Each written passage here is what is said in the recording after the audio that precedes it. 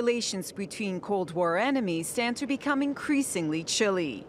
Russia has now hit back at the U.S.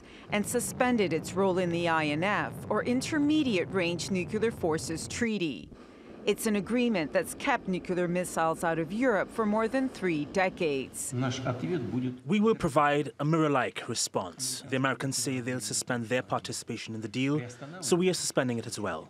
They said they'll engage in research and development programs. We will do the same.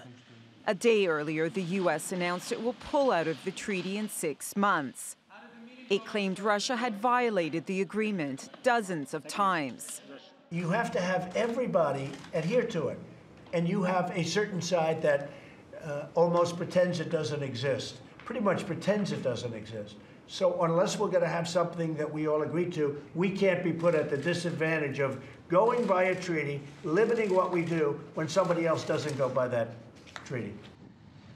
Russia denies the accusations, but says it will begin creating new missiles not defined under the deal.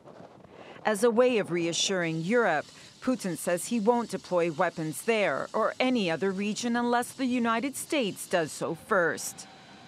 The European Union has called on all sides to stick to the INF. Uh, what we definitely don't want to see is uh, our continent going back to being a battlefield or a place where uh, other superpowers uh, confront themselves.